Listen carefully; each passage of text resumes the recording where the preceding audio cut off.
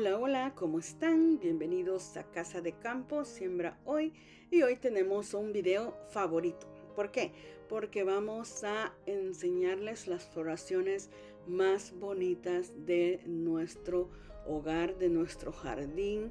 Así es que eh, estoy contenta. Hay floraciones que son nuevas hay floraciones eh, que duran bastante y hay otras que se han llenado de flores y por eso pues les vamos a dar el lugar que se han merecido este año 2023. Así es que vamos a comenzar eh, y primeramente tengo esta floración de eh, una hellebore. Voy a ir dejando los nombres a cada planta, cada floración que tenga aquí. Espero que me acuerde al, momento de decirlos porque a veces se me olvidan. Pero eh, esta es una hellebore. Y lo voy a dejar escrito también aquí. Me gustó, me encantó porque a pesar de los colores es la primer floración que aparece en el invierno. Y la verdad es que ver una flor en medio del invierno, pues es wow. Y también se mantuvo, solo que fue cambiando de color, se mantuvo prácticamente hasta a mediados del verano, hasta que desapareció. Y otras que tenemos son estas de aquí, yo creo que ya las han visto en varias ocasiones, pero uh, son unas eh, orquídeas que tengo en la ventana de mi cocina y que les encanta este lugar y la floración incluso de aquella moradita que vemos principio. Esta floración duró más de cuatro meses. Entonces estoy encantada con ellas, que por cierto en este momento ya están floreciendo, están empezando, a llevan su rama floral, pero me encantan porque en el momento que afuera no tenemos en nuestros jardines floraciones, adentro de nuestro hogar, ellas están comenzando a dar su floración para que las disfrutemos floraciones también, aun cuando no hay floraciones afuera que digamos que es en el invierno. Y yo encantada con eso. Otra que se levantan bien temprano de empezando la primavera son estas eh, florecitas que yo creo que se llaman jacintos, eh, pero no estoy segura, pero voy a averiguar. Yo creo que se llaman jacintos. Son unas miniaturas de florcitas y plantitas chiquitas, pero entre todo lo vacío que se ve el jardín, ellas resaltan con su color y parecen unos gajitos de uva hacia arriba. Están preciosos, están bellos. Otros que en este año para mí yo los esperaba con ansias son estos tulipanes que decidí sembrarlos en maceta porque ya he sembrado anteriormente, pero generalmente nuestras ardillitas nos las sacan, entonces se las comen, les encantan los bulbos de los tulipanes. Pero este año logramos ver floraciones de tulipanes con unos colores bellos, hermosos y me encantaron. No fueron muchos, pero en realidad pues yo encantada de ver floraciones de tulipanes en mi jardín y por eso se llevan el punto, eh, un punto en este año. Otra que siempre nos, nos gusta y ha ido creciendo poco a poco y se va expandiendo es esta que se llama, uy, se me olvidó, le voy a dejar el nombre aquí pero todos los años ella se cubre con tanta floración y se va extendiendo por los años que ya la tenemos. Todos los años nos llena de florecitas muy menuditas, pero se ven preciosas y como les digo, son de las primeras que empiezan a florecer dentro del jardín. Son bellísimas. Una también de las que tenemos nuevas es esta. A mí me encantan las camelias porque también son otras que al principio de la primavera empiezan a dar su floración y ella es nueva aquí. Otra que es nueva dentro del jardín es esta, es un iris Y la verdad es que yo esperaba un color diferente, pero al ver este color está precioso, encantador.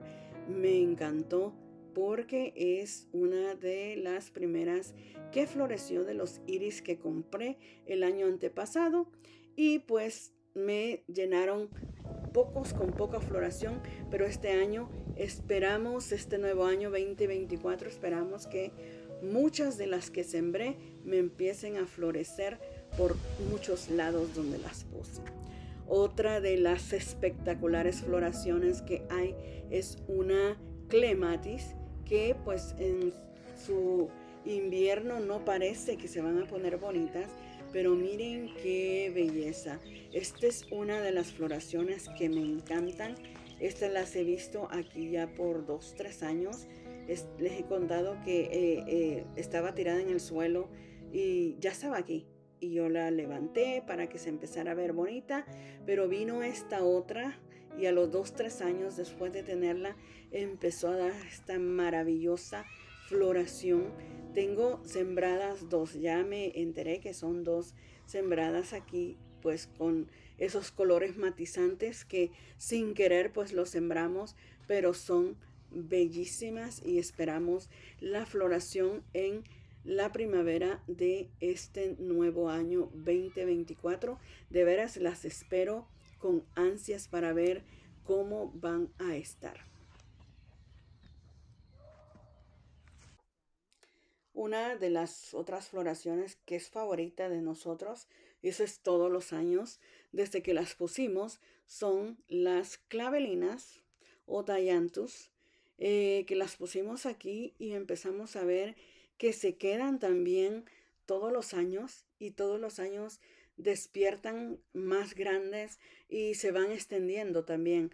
Entonces tenemos prácticamente una carpeta en el borde de aquí del jardín de estas floraciones que se llenan todas y déjenme decirle que también florecen prácticamente todo el verano. Pues claro, hay unos momentos que se pone bastante feita, hay que tratarla, pero eh, también podemos eh, ver la floración primera que da, que es un espectáculo de flores en el suelo, es una belleza.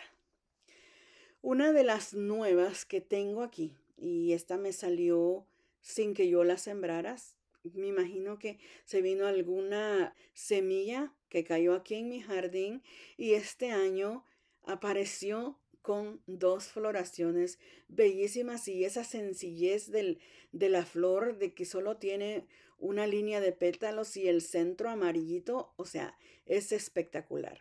También nos floreció esta, esta ya estaban aquí hace tres, ya estaban aquí cuando agarramos la casa. Yo las moví del lugar donde estaban porque creí que no eh, nos florecían por estar en el lugar ahí, pero la verdad es que hasta este año florecieron y fue tan grande la floración que yo me quedé encantada con estas em, peonías que salieron este año. También sembré el año pasado esta floración que verdad que me han encantado lo que son las malvas me han encantado mucho. Y este año, para el próximo año 2024, van a salir más floraciones porque ya están ahí. Y pues déjenme decirle que este año 2024 van a salir. Otras de las favoritas nuestras son las rosas. Y ya les he contado que he comprado rosas inglesas también. Y esta es una de ellas. Y el color de esta es una de las favoritas nuestras porque la verdad es que las rosas inglesas son eh, como un diseño de pétalos completamente diferente, el, diseño de la rosa. Eh, los colores no podría decir que, que no hay en las rosas otras regulares que conocemos, pero en estas, no sé, tienen unos pétalos bastante diferentes para mí, pero la floración de esta y el color que tiene a mí me encanta. Esta es una eh, rosa inglesa que se llama, eh, uy, se me olvidó, sí me la puedo, Lady o Charlotte. Y también esta es una rosada, el color me fascina. También como les digo, el diseño de los pétalos es fascinante. Y también compramos una en Hondipo que la trajimos eh, también está preciosa y está llenándose de flores a cada rato. Créame que, nos encantó la floración y el color de esta rosa. También otra que es, son, eh, se llenan tanto, son estas de aquí. Son unas eh, flores rosas. Eh, me gusta la que está a la par, pero nos encanta esta rojita favorita que tenemos, que prácticamente está a las del suelo, pero siempre está florecida y su primer floración es espectacular todas las eh, floras que lleva son menuditas, chiquitas, pero ella se mantiene florecida todo el tiempo. Pero esta eh, es la que se llevó prácticamente eh, el lugar, siento yo, para nosotros. Esta floración que dio este año fue espectacular. La planta en sí, no sé si es que está, la sembramos en el lugar perfecto para ella porque la planta ha crecido un montón. No creció como las otras que compramos, que son flores inglesas también. Y pero ella ha crecido su, su la planta se ha puesto tan hermosa y las floraciones que dio, pues la verdad es que hemos quedado fascinadas con esta floración y estoy tratando de ver si la podemos propagar definitivamente. Las otras también nos encantan, pero también este, queremos ver si podemos propagarla. Pero esta sí quedamos encantados con el diseño de floración. Eh, los colores van cambiando a medida que empiezan a crecer, empiezan a, florecer y aun cuando van envejeciendo se ven preciosas. Y son unas flores que se pueden poner o llevar adentro de casa también y se pueden mantener por un poco más tiempo que las otras. Así es que a mí me encantan estos buques de flores que han dado estas floraciones y por supuesto esperamos que el próximo año 2024 venga con muchas más floraciones y esperando que suba más a la parte de arriba del arco donde la hemos puesto porque es una planta que es eh, que crece muy grande hasta 12 pies 10 a 12 pies. Sí preciosa me, a mí me encanta me fascina esta esta rosa que tenemos aquí.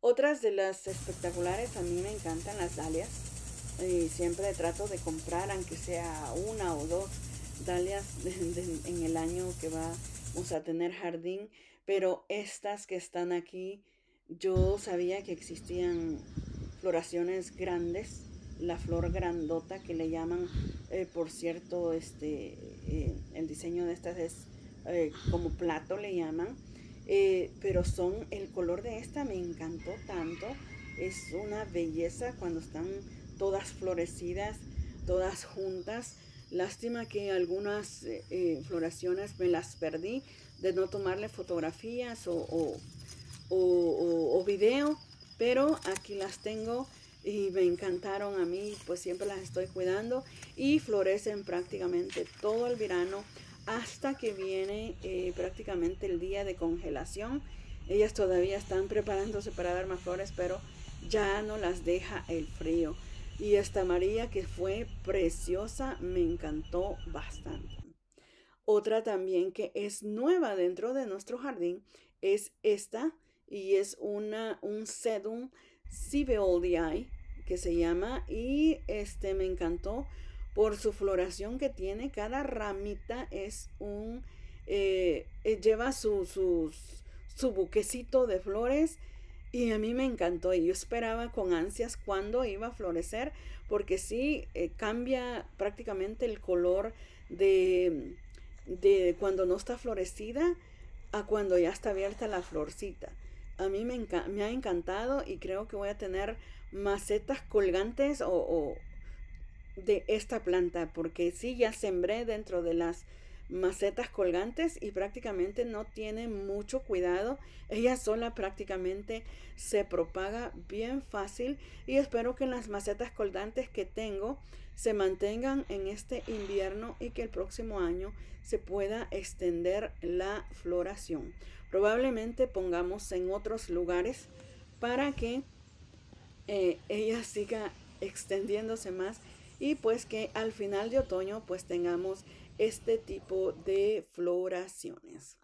Eso ha sido todo por hoy. Estas han sido las favoritas de este año 2023 unas floraciones que para nosotros han sido tan hermosas, otras duraderas y otras llenas de flores, que por eso se han ganado el puesto favorito de este video. Así que si les encanta, por favor, este video, por favor compartan, comenten, suscríbanse a este canal y que sea su video favorito. Bye.